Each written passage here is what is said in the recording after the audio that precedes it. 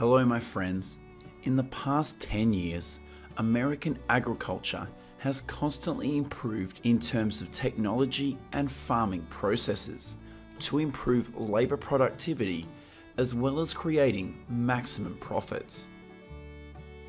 In today's video, we're going to go back about 10 years and go to farms in the United States to see how they harvested agricultural products at the time.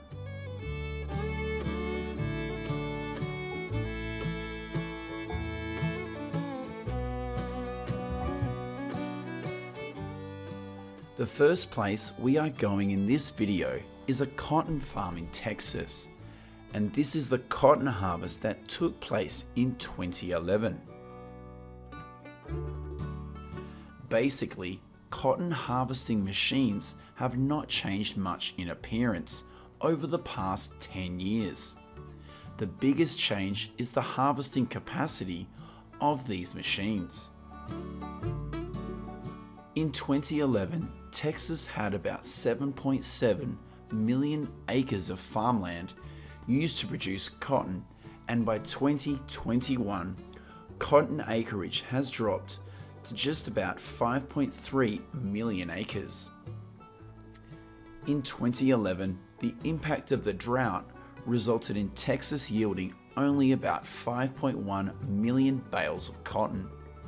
Meanwhile, the state's cotton production in 2021 has increased to 7.7 million bales. It can be seen that although the cultivated area has decreased a lot, the cotton yield in Texas has increased steadily over the past 10 years.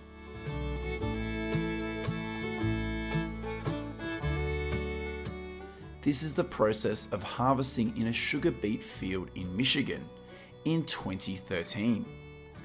Today, these beet harvesting machines are still used in large fields in Michigan. However, their harvest capacity has increased by about 25% compared to 10 years ago. In 2013, Michigan had about 147,000 acres of land used for sugar beet production and a yield of 3.9 million tonnes. Through 2021, sugar beet acreage in Michigan is 167,000 acres, and the yield is about 5.7 million tonnes, up by about 68% from 10 years ago.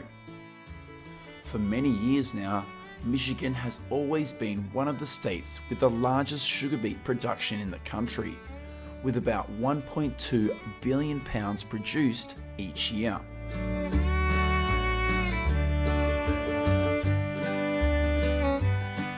This is the process of harvesting billions of grapes that took place in the Alexander Valley in 2010. Basically, harvesting in California 10 years ago was not very different from the way it is harvested today. Most of the grapes here are still picked by workers from Mexico. Perhaps the largest change is that the wages of grape harvesters have doubled from 10 years ago. Grape pickers in California typically earn about $13 an hour. In 2010, the vineyard area in California was 531,000 acres. By 2022, the area under viticulture in the state has increased by 40% to 881,000 acres, accounting for 96% of the vineyard area in the country.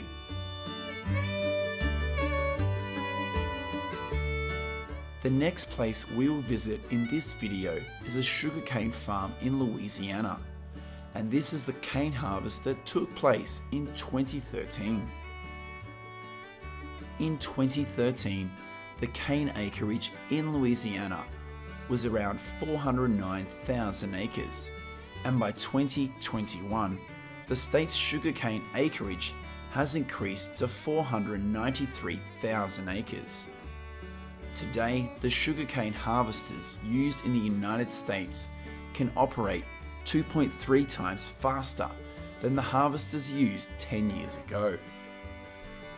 According to the USDA statistics, in 2021, cane production in Louisiana is 16.9 million tonnes. Meanwhile, sugarcane production in the state in 2013 was only 13.1 million tonnes. Basically, in recent years, the area of sugarcane production in the United States has not increased much, but sugarcane production has always grown at 4% per year. This is due to improved sugarcane productivity and labour productivity in sugar mills. This is the 2011 onion harvest in the state of Texas. In 2011, the area of land used to produce onions in Texas was about 13,000 acres, and by 2022, the area under onion cultivation has increased to 17,000 acres. The main difference is the process of harvesting onions in California. In the past 10 years or so, the majority of onions in Texas have always been harvested by machines. In California, they mainly use workers from Mexico. This onion harvesting machine is currently only used on small farms. For large scale onion farms, harvesting machines with more than two times the productivity have been used. We are currently in a cucumber field in Florida and this is the 2015 harvest. According to a USDA report, in 2015 in Florida, 17,000 acres of farmland were used to grow cucumbers. And by 2021, due to the high demand for cucumbers, the area planted of this fruit in Florida has increased to 21,000 acres. Today, the process of harvesting cucumbers on most Florida farms remains the same as it was 10 years ago.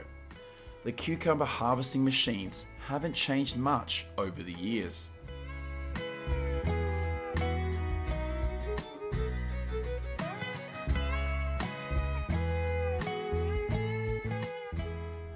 Last place we are visiting in this video is a carrot farm in the state of California and this is the 2013 carrot harvest. Just like the cucumber farms in Florida, the technology of harvesting carrots has not changed much over the years in California. Most of the old harvesters are still in use. Along with that, thousands of migrant workers also flock to California farms to pick carrots each year. Over the past 10 years or so, California's carrot acreage hasn't changed much, and it has always remained steady at 61,000 acres. Each year, California farmers harvest about 1.3 million tons of carrots, accounting for 88% of the country's carrot production.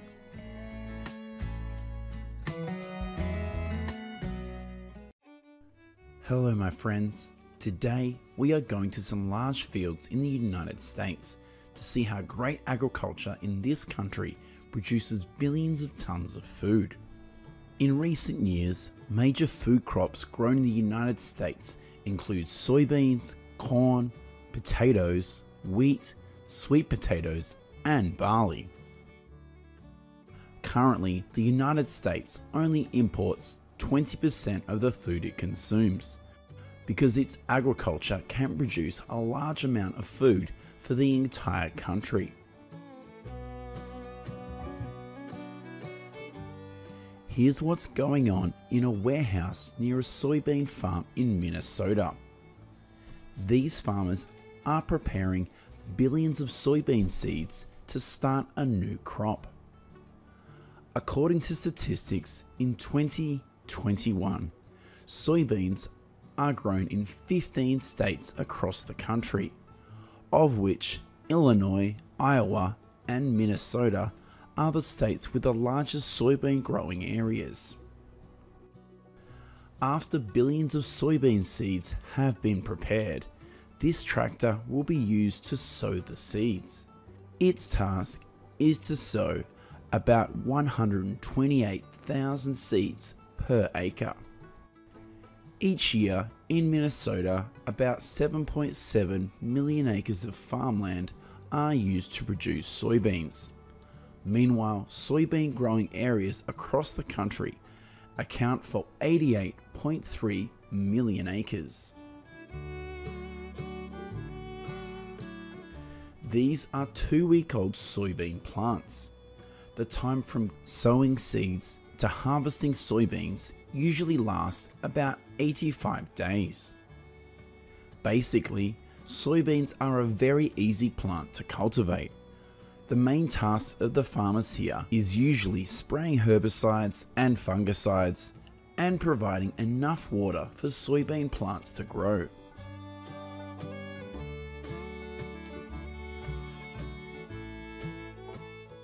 This is a field of soybeans more than two months old, and they are only about two weeks away from the harvesting process.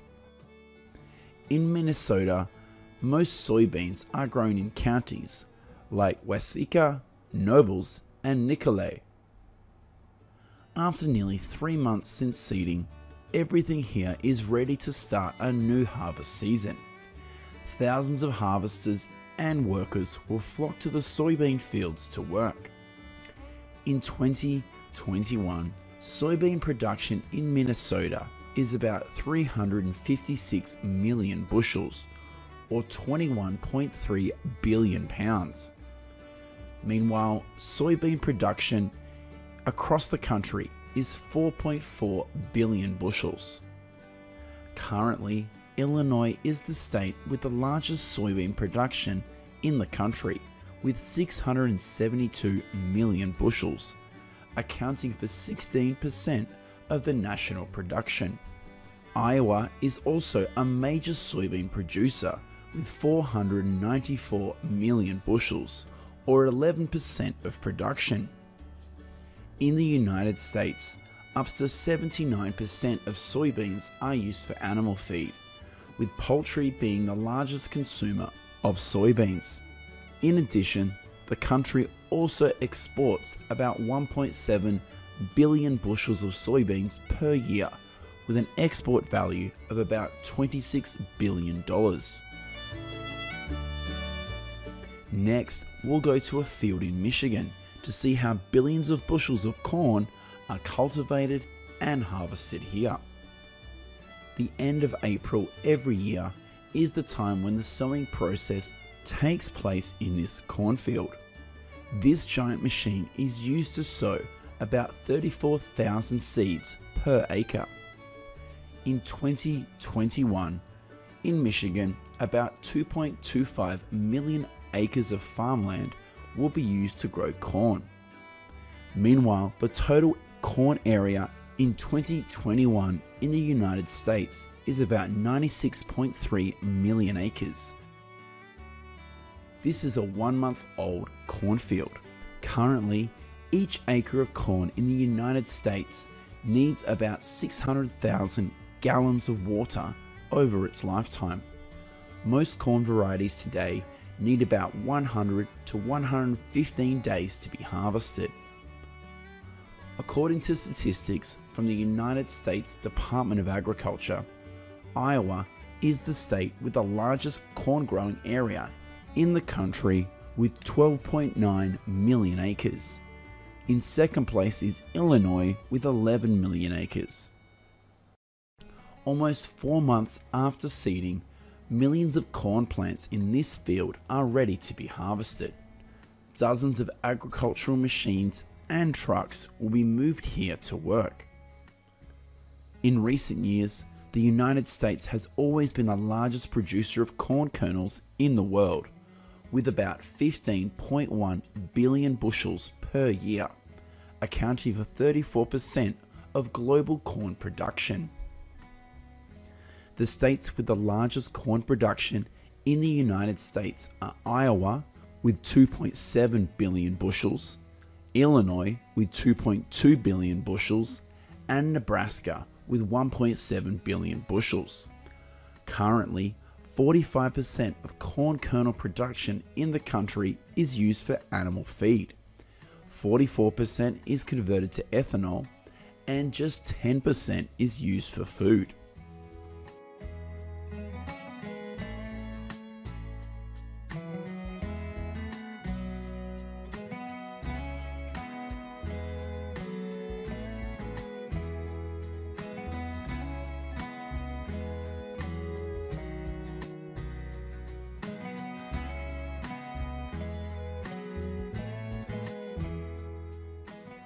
This is the ongoing harvest of a wheat field in Kansas state. Mid June is the time when the harvest takes place in most of the wheat farms in Kansas. According to data in 2022, the wheat area in Kansas is 7.6 million acres, which is also the state with the largest wheat area in the country. Currently, nationwide, 37.7 million acres of agricultural land are used to grow wheat, and the yield is 1.65 billion bushels. After harvesting, billions of bushels of wheat will be transported by truck to warehouses for storage.